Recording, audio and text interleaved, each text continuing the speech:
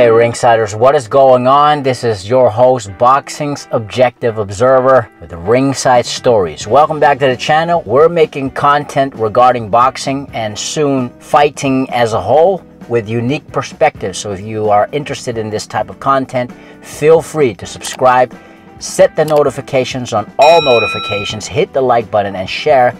That way you will know when the next Fire video drops and it also grows the channel at the same time which inspires us to make more amazing quality content for y'all.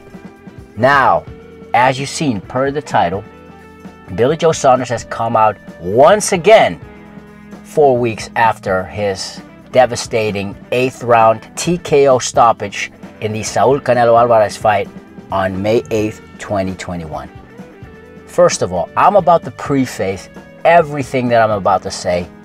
And some of y'all who've been around for some time, thanks for the support and thanks for your patience. However, I state on this channel, Ringside Stories, ever since its inception in January of 2020, that it is not my job to bash fighters, nor is it my job to bash trainers or promoters, anybody that has anything to do with the fighters. I understand they go through grueling training camps, they step through the ropes, they fight to the best of their abilities, they test their greatness, and the payment that they receive is based upon all of that effort. That doesn't give them the leeway nor the caveat to come with fake news or false narratives. That being said, and I mean no disrespect, Billy Joe Saunders is guilty until proven innocent.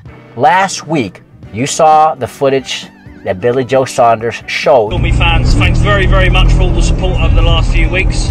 Not being online to get back to anyone. Uh, Pretty much the first time after his devastating, humiliating defeat against Saul Canelo Alvarez.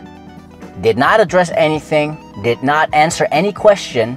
If anything, he gave you, gave us more to think about.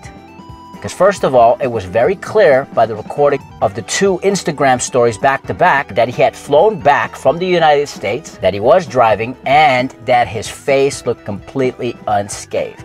So that's the entry point for today's episode.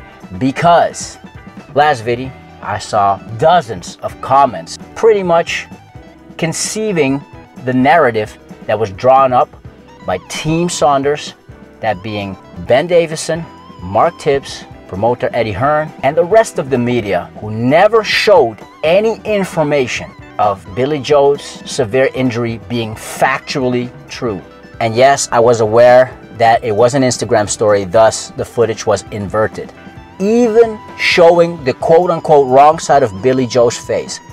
Ask yourself this question Did you or did you not see anything out of the ordinary anywhere on Billy Joe Saunders' face? Because if the answer is no, then you should be critical whether Billy Joe Saunders underwent surgery, as Billy Joe Saunders' team keeps alluding to, and whether or not Billy Joe Saunders even had that severe of an injury to start with. Last time I shared my observations, I talked about the x-rays that promoter Eddie Hearn wanted to see from Daniel Dubois in November 2020 when he lost and quote unquote quit. I think most most people would post some kind of X-ray. I don't. I, I'm not a doctor, but it didn't look.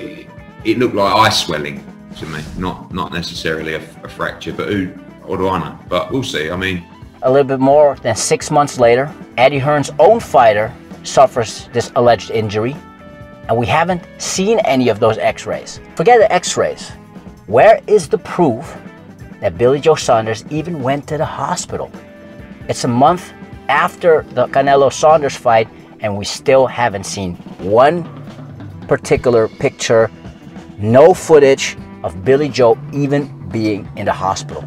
Secondly, as stated, Billy Joe Saunders traveled from the United States back to the United Kingdom, which some states, some hospitals, some doctors would advise against, especially with an injury as proclaimed as severe as Billy Joe Saunders' was. Some people were even talking about it was a career-threatening injury, then chances are some doctors would advise against Billy Joe Saunders going back home by plane. And yet here we are, four weeks, three Instagram stories later, Billy Joe Saunders with an unscathed face driving on the roads in the UK. Now, add that to the evidence that is missing on Billy Joe being in the hospital, on the actual examination of Billy Joe Saunders' alleged severe career threatening injury, we are left with even more questions. Here's Billy Joe Saunders' own trainer, Mark Tibbs, answering the question how Billy Joe Saunders is doing ever since the loss against Saul Canelo Alvarez. I've not spoke to him. You know, I've texted him, he's texted me back, but uh, we haven't spoke. We, we, we, we, you know, we was meant to speak, but we haven't spoke. So, um, yeah, I can't answer that. When, when are you kind of expecting him to come back in the ring? Pro B's, you'd have to ask him that. You know, you'd have to ask him that. The most important team member in his team, Billy Joe Saunders' own trainer, knows just as much as us boxing fans about the situation, whether A, Billy Joe Saunders was in fact operated on his alleged fractured orbital bone, and B, whether Billy Joe Saunders is doing fine in his healing process, yes or no. The reason why I'm questioning the severity of the injury, based on the missing evidence, based on the fact that Billy Joe Saunders looks to be unscathed, thus the fracture being career threatening, take a look at what really went down in the corner before the start of round 9. Now keep in mind, Billy Joe Saunders at that time had allegedly fractured his orbital bone in four places. Look how Billy Joe's cutman is applying the Enswell. If your corner knew that you had injured your orbital bone severely, would your trainer allow the cutman to apply that type of pressure on your injury?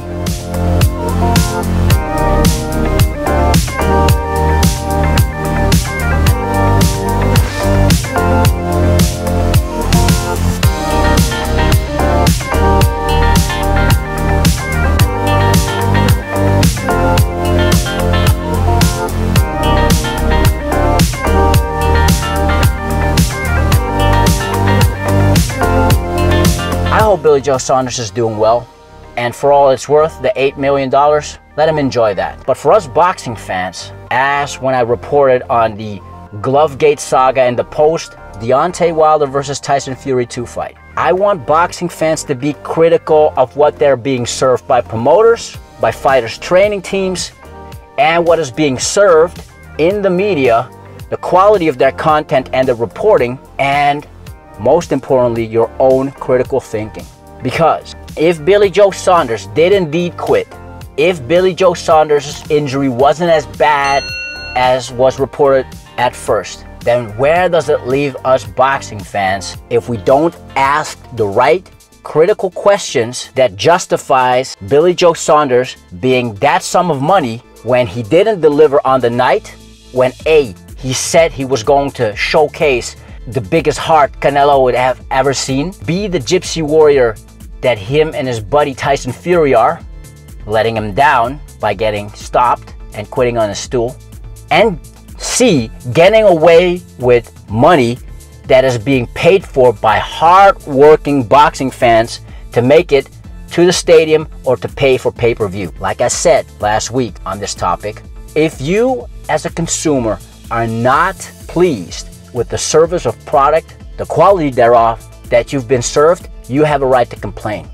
And yes, boxers do the hard work in training camp, in the fight, they put their lives on the line, but at the end of the day, the boxing fans make sure that the boxer gets paid. It's a catch 22. And so, as boxing fans, we deserve, we have the right to ask critical questions and to not fall for fake news, false narrative spun by people who have a different agenda than us boxing fans who just want to enjoy a good night of boxing. Anyway, these are my thoughts on these new leaked Instagram stories from Billy Joe Saunders account. But what are your thoughts? Let us know in the comment section below. It's your host, Boxing's Objective Observer with Ringside Stories. Thank you so much for watching. If you enjoy this kind of content on boxing and fighting in general with unique perspectives, then I know that you're going to love this channel. So feel free to subscribe, hit that notification bell, set notifications on all notifications. That way you'll know when the next fire video drops. Hit that like button and share as much as you want to. It helps build the channel and it also inspires me to make even more quality content for y'all. If you've already done that, we already know you're awesome. You are the undisputed champion. Till next time, guys, this is your host, Boxing's Objective Observer with Ringside Stories. Thanks for watching and have a legendary day.